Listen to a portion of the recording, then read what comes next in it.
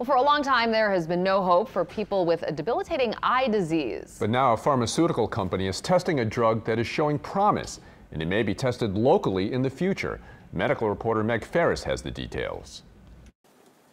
Several years ago, when Gloria Beach was working as a registered nurse, she noticed a vision change. I was having a problem reading a street sign, newspaper print, small print. She thought the eye doctor would prescribe new glasses and everything would be fine, but it wasn't.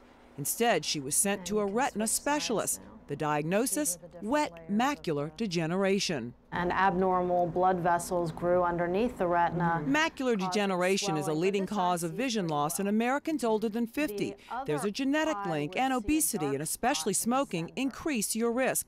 Cells underneath the retina degenerate.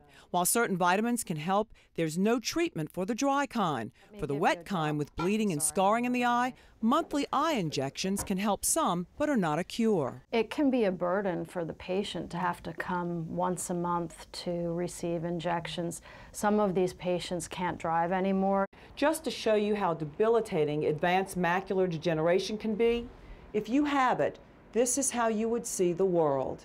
There have been no medical advancements since those injections 12 years ago, but now Ohr Pharmaceutical is in clinical trials with an eye drop people with wet macular degeneration could use at home. And we saw that when you use the eye drops in conjunction with these injections, you can get more than five letters, a full line on an eye chart, more vision than you can achieve if you just get the injections. Retinal specialist Dr. Right, Jason exactly. Slakter says the new medication is on the fast track with a goal of FDA approval. Gloria hopes so too. The fear of going blind.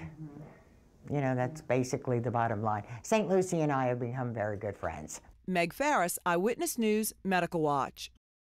It is possible that the new drops could be tested in this area in the coming year. And Meg will have a follow up story to let you know how to sign up.